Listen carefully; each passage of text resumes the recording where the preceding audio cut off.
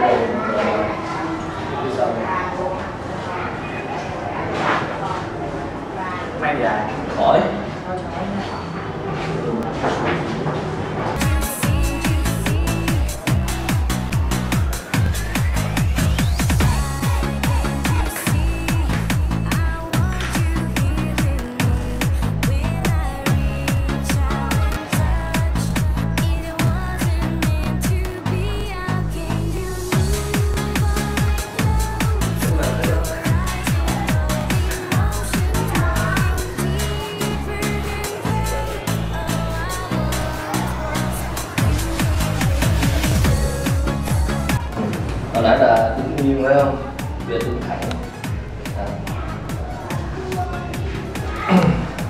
đây là ngày 16 tháng 1 năm 2009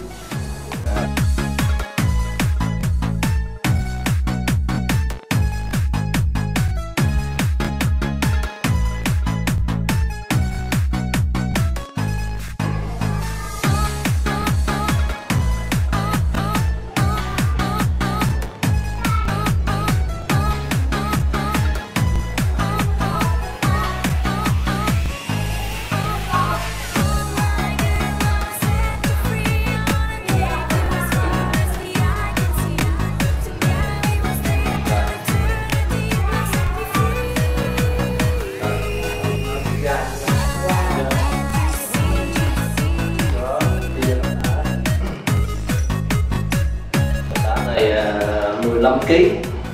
Bây giờ tập tay trái.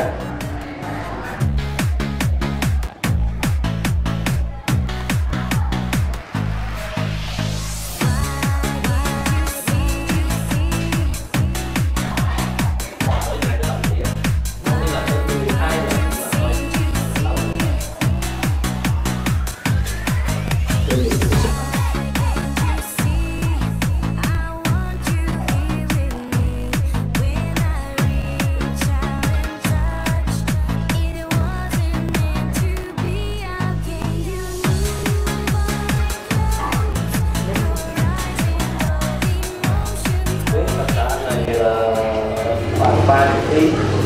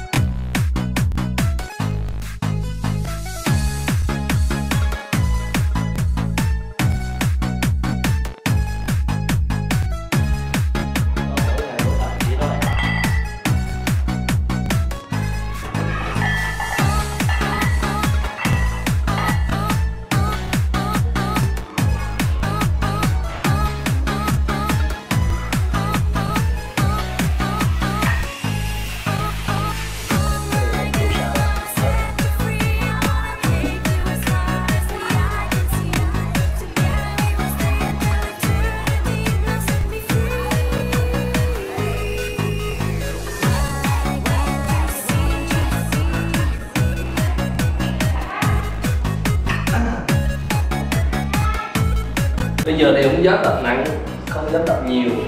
Ờ, à, mỗi ngày cứ tập bao nhiêu thôi là để giữ lại cái sức khỏe những cái thể lực thôi.